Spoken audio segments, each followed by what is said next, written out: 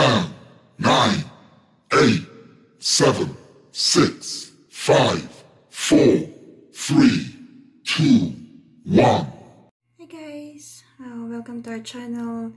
So if you can see, nandito po ako sa work ngayon and um, it's this a short video. I just want to share to you guys and um, one of the product na nakita ko or sample na nandito sa work. I'll just gonna share to you guys. Okay? Stay tuned lang kayo dyan. Okay guys, so anyway, ito yung gusto ko i-share sa inyo na product. Yan. Because since pandemic started, okay, so um, um, kailangan talaga nating protektahan ang ating sarili. Hindi lang sa loob at labas ng bahay. Siyempre, kahit sa work po natin or kahit saan man tayo guys. So, ito yung product na nakita ko na isa sa mga sample na binibigay sa amin dito sa trabaho. And guys, so it says Microbon 24 hours keeps kill and it's like a sanitizing spray disinfectant. Guys, so malaki siyang bottle ha. So big. Yeah, it's still sealed, not even open yet.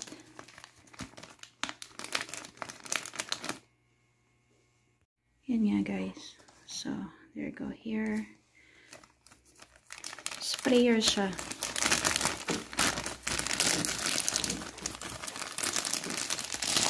Yan. Malaki siyang bottle. Yeah. So, syempre, meron din siyang mga ito. Meron siyang instruction like cautions in English and in French. Guys.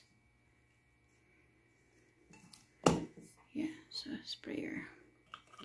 So we need this one to to sanitize all our ano um, mga gamit. Yes, even yung mga ganito especially dito sa amin sa sa trabaho, yung computer, yung everything, even the phone, yun. Kasi nga hmm, may mga ibang stuff din na nag-work dito. And also, there's another one more that we're using. This one. This is a wipes naman po. Yan. Most of, uh, most of the clinics and hospitals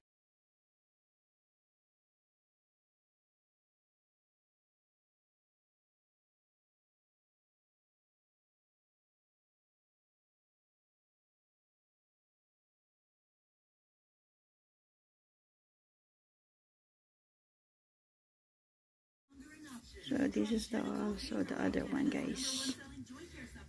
Na ginagamit namin. Especially ako. Every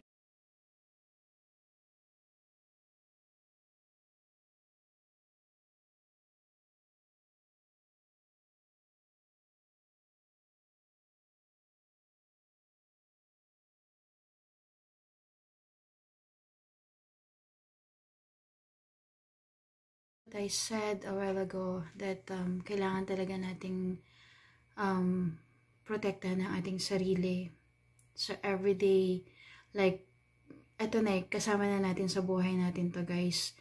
Kaya, um, kung maaari is, uh, we always please wash our hand uh, all the time before you eat or before you do something kasi um, we never know. We don't know um, if we can clean um, all our stuff before we use it, especially sa work.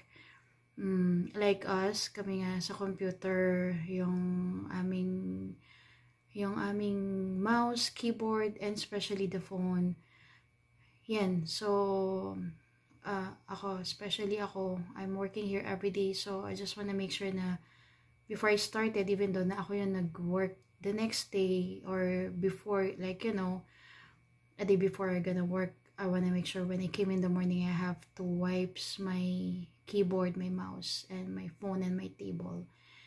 Yan guys, so, um, konting ano lang to, it's just only a small or a little bit of information um, kasi nga um, kailangan natin mag-ingat and yun.